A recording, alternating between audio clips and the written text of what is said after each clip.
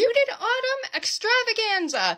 In this video, I'm going to share with you some client updates I've received from Muted Autumns and go through some learning items around color analysis, around contrast and intensity, and finding the fine balance between all the color analysis checks. Before I dive in with sharing with you some of these before and afters, I just want to ask you if you feel inspired to comment uh, I just want to hopefully get you in tune with love before you comment. These are real people in these uh, pictures who've done their photography best as they've been learning their color analysis palette and they've been really enjoying the results. Before receiving her muted autumn result, this virtual color analysis client automatically saw her natural hair color being dark and fairer skin and automatically assumed she was going to land in a higher contrast palette. The palette that she assumed she was going to be was in the winter family. There are three aspects to every color we see undertone, value, and intensity, and contrast is related to the value scale.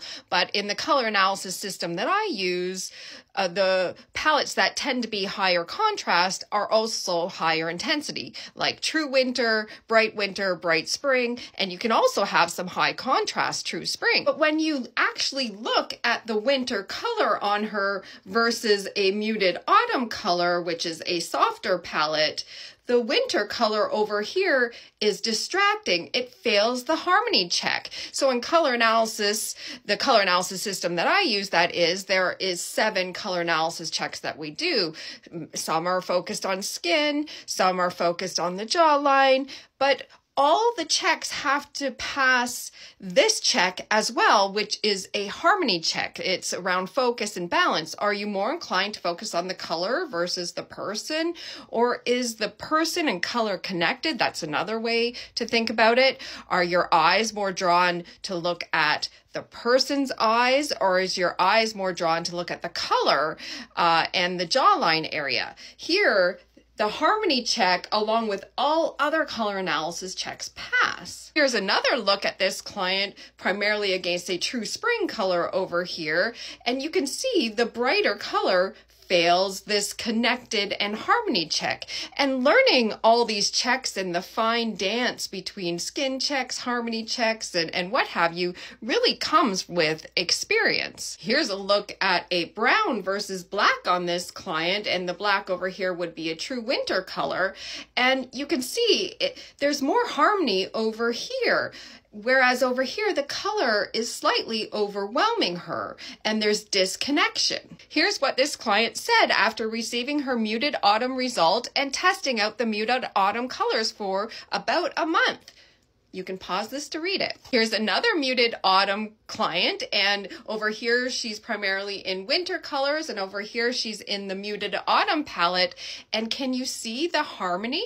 While it may be harder to see with lighting in these pictures whether her skin's better or not, the harmony check is easily seen here you're more inclined to look at her here. The person and the color is connected. I also find there's two camps of people. Some people like bright colors and some people like soft colors. And when they look at people sometimes they apply those likes and dislikes to people. Uh, and even perhaps yourself perhaps you have a like of bright colors. Color analysis checks really are sometimes a different story than likes dislikes. I find over time as people are pointed in the direction of what colors pass color analysis checks even if they dislike the palette at first they as they test out the palette they end up loving the palette. And here's this client in a spring color and here she is in a muted autumn color. She is much more in harmony over here. Here's her lovely email to me. You can pause this to read it. Here's another look at this. Over here is a winter color. Over here is more of a muted autumn coloring. And you can uh, see or i can see anyways disharmony with winter. There's no way this person is a winter. And over here, there's better harmony and connection between her and the color. Even in these different lighting conditions, you can see that. There's another view of this where this over here is primarily a winter color and over here is primarily a muted autumn color. And there's better connection over here. Knowing where to turn the dials on undertone value intensity is important. Some people need the dials turned up uh, in terms of intensity. Some people need the di dials turned down. And here is a great example of that. And here's this client's lovely email to me. You can pause this to read it. She had been previously analyzed in uh, another system as a true slash cool summer. Here's a client who's a true spring.